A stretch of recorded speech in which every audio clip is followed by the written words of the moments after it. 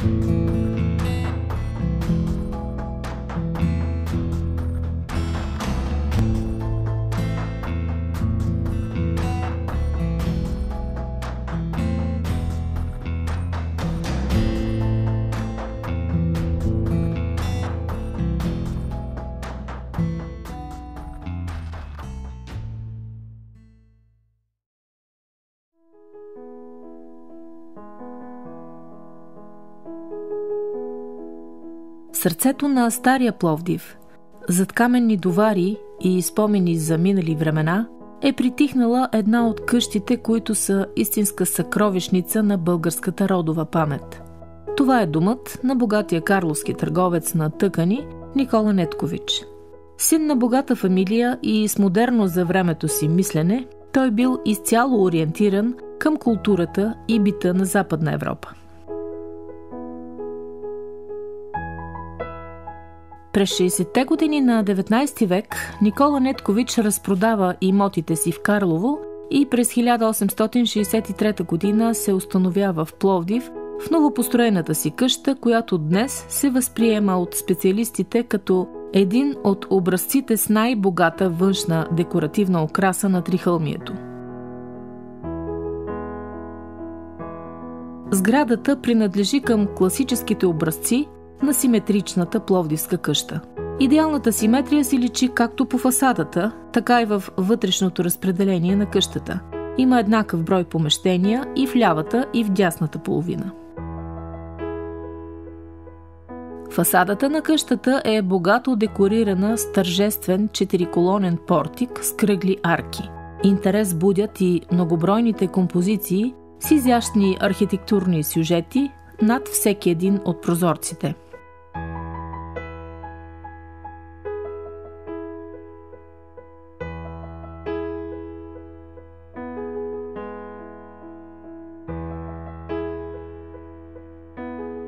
Любопитна е историята на фамилията Неткович.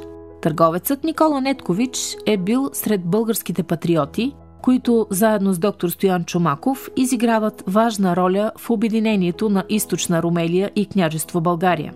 След създаването на новата българска държава, Неткович е заемал висок пост в кабинета на окръжния управител на Пловдивската ААЗа. Семейството му е било тричленно, той, съпругата му и дъщеря му.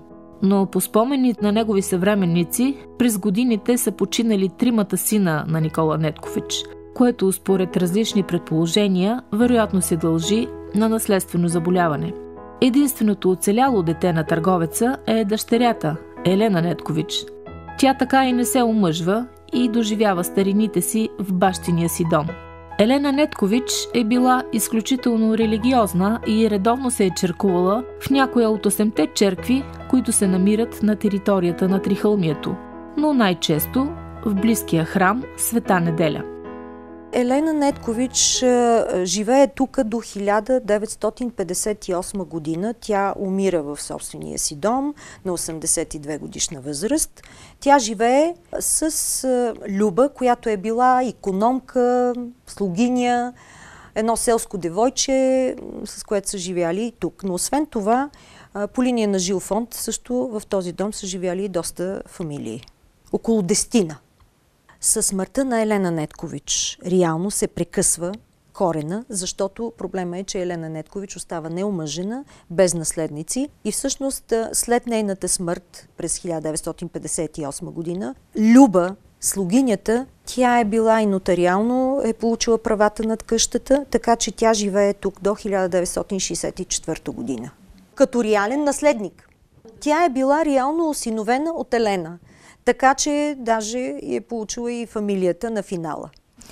Люба всъщност след 64-та година е обещетена с апартамент от градския съвет и тя напуска къщата в апартамента. Впоследствие имаме 5 години частична реставрация и през 69-та година този дом започва да работи като музей.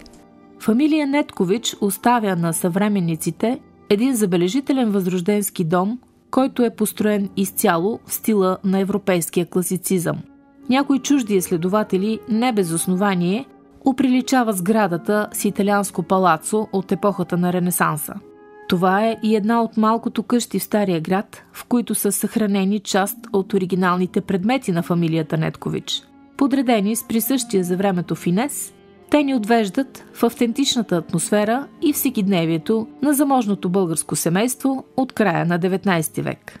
Тази къща и приземният етаж на тази къща е максимално близка до автентичният интериор, именно в, в, в начина по който е живяла фамилията Неткович. Ако щете с това съчетано влияние между, с елементи от Западна Европа, каквито са тези прекрасни виенски мебели, които се събират и се съчетават с Миндера. И същевременно българския дух се усеща в тези прекрасни изящни тавани, резбовани или вградените долапи, както и профилираната врата. Може би в къща Неткович е една от малкото къщи, които притежава автентични предмети. В зелената детската стая се съхранява оригиналната ракла на бъдещата госпожа Неткович, Харикли Антон Стоянович, която е и датирана. Имаме малка туалетна котия, едноламповия полюлей, който е в вестибюла, също е автентичен предмет. Притежаваме едно прекрасно шише за ликьор. А, така, едни малки предмети, двете виенски чугунини печки в приземният етаж са също от самата фамилия. Всеки от двата етажа на къщата е имал самостоятелно предназначение. Приземният етаж на този дом прави впечатление с уникалните резбовани тавани и изящни стенописи, съхранени до наши дни без реставрация.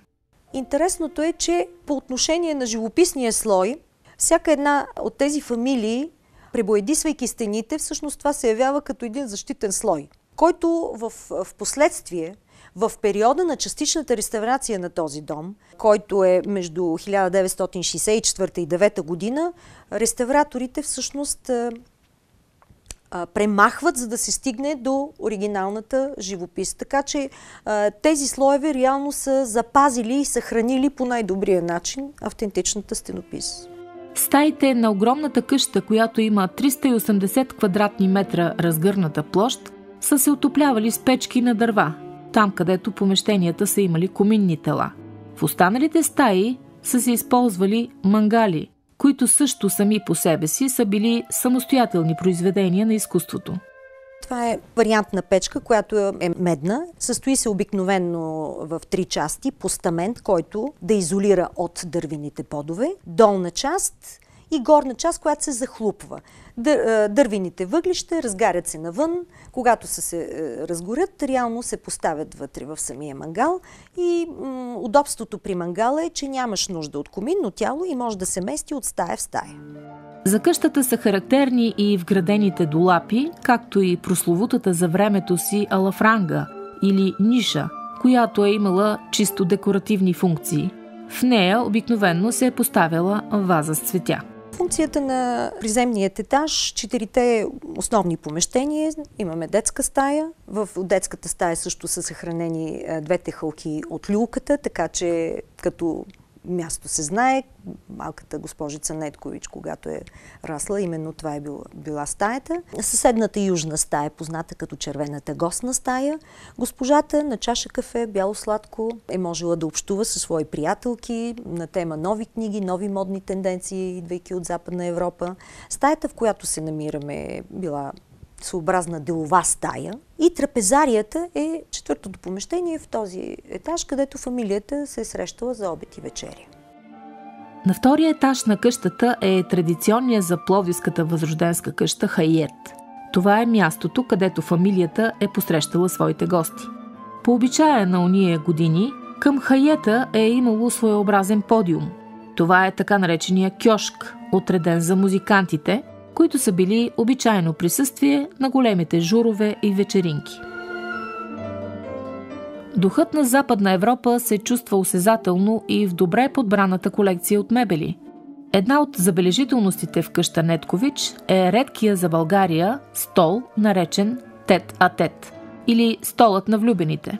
И до днес той е запазен в отлично състояние без никаква реставрация. Останалите мебели в хола са в стил ампир.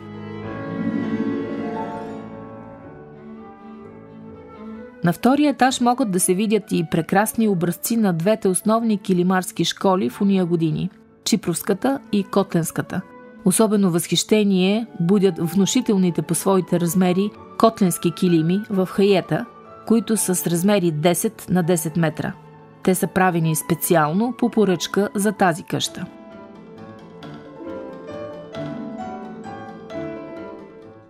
В двете спални помещения на втория етаж е и моминската стая на госпожица Елена Неткович.